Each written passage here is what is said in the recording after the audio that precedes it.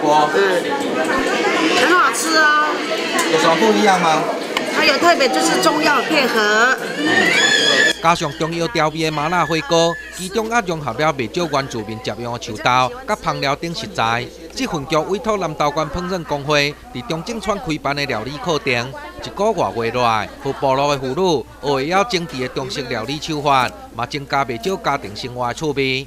不错不错，哎，我很喜欢，因为我我不会煮菜啊，对我家庭有帮助啊。嗯，怎么说？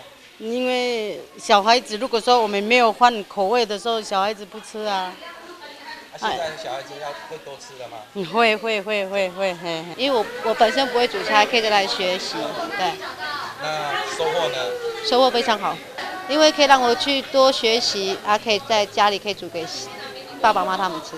因为他们毕竟我们我们这次来来带我们带给他们是中式料理，然后传统化其实原住民他们对对刀工啊或者什么其实没有那么讲究，因为他们粗犷啊，大口吃肉，大口喝酒这样子。那我这次话就教比较细致一点东西，把所有菜色都做精致、做漂亮这样子。这次课程总共有二十九位部落妇女参加，多数拢是家庭妇女，其中毛伫部落开餐饮店的业者参加这摆课程，可以未来会当有更较侪菜色提供给人客选择。我目前有开店了，可是我要进一步，因为有些我不会哦，刚好老师来教，我们就来学习，我们就要就要做这这，我们可以加加我们的那些菜色嘛。课程接近尾声，学员为着展现学习成果，特别举办成果发表会。在发表会前，大家无用料理美味可口的菜色，有人切菜，有人炒菜，无偌久的时间，一盘一盘精致餐点都陆续捧上桌顶。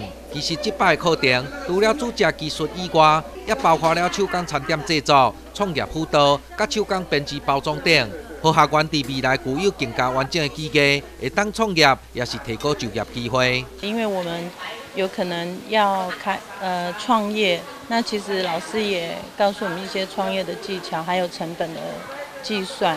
对，那虽然是蛮基础的，但是对我们是很重要的。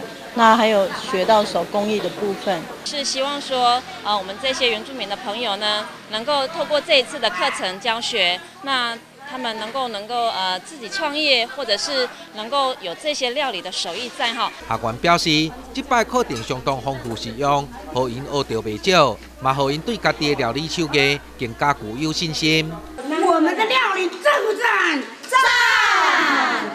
记者王嘉成采访报道。